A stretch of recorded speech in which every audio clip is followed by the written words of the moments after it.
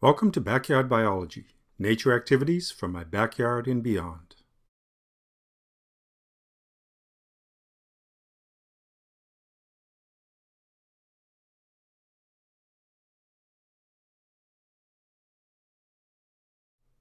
Plants use a number of colored chemicals, pigments, in the process of photosynthesis to produce their food. The best known of these is chlorophyll, which give the leaves their green color but other pigments are present as well and may be revealed in the fall when the chlorophyll disappears. In this activity, we will see which pigments are present in the leaf through a process called paper chromatography. The first step is to collect the leaves. You can do this any time of the year. In fact, it might be interesting to test the leaves of one type of plant throughout the year. For this activity, I am collecting leaves from three red maple trees, one with all green leaves, one with leaves that are a mix of red and green, and one with predominantly red leaves. Next we cut the leaves into very small pieces. The smaller the better.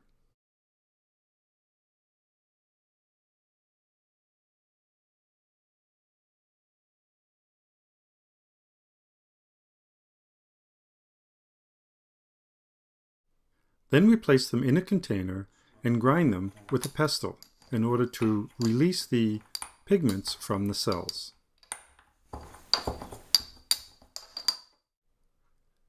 We add a little bit of rubbing alcohol, just enough to cover the leaves.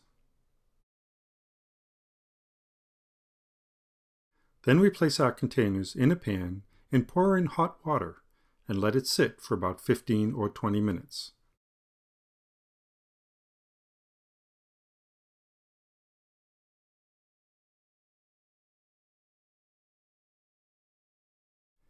When we take our samples out of the hot water, we notice that the pigments have colored the alcohol.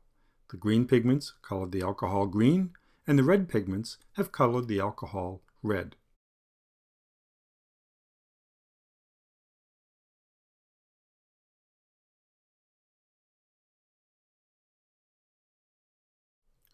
To conduct the chromatography activity, I cut a strip of paper towel and suspend it so just the very end of the paper towel is in the alcohol. Through capillary action, the alcohol will travel up the paper towel, carrying the pigments with it.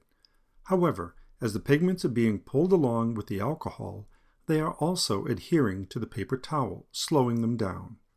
Since the different pigments will travel at different speeds, they will spread out, producing colored bands on the paper towel that allow us to see which pigments are present in the leaf.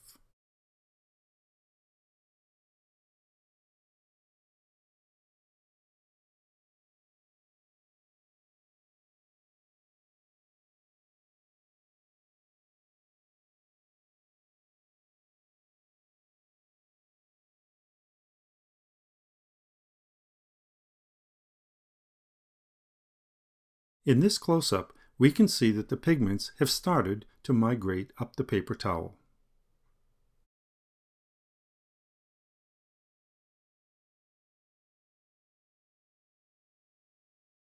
By letting the chromatography activity run overnight, the pigments have moved far enough along the paper towel for distinct colored bands to appear.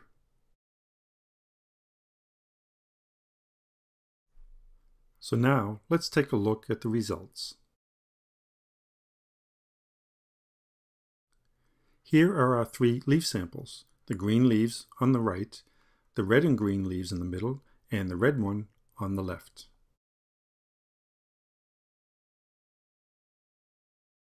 And here are the three chromatography strips from our three samples.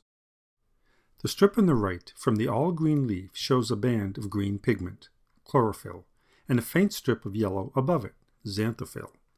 The strip in the middle shows the green and the yellow band, but a red band has also appeared. This red band is the anthocyanin pigment. And finally, the all-red leaf on the left shows that the chlorophyll has completely disappeared, leaving behind the band of yellow and red. This activity shows that in the maple leaf, the chlorophyll and xanthophyll are present during the summer, when the leaf is green, but the anthocyanin is not produced until the fall.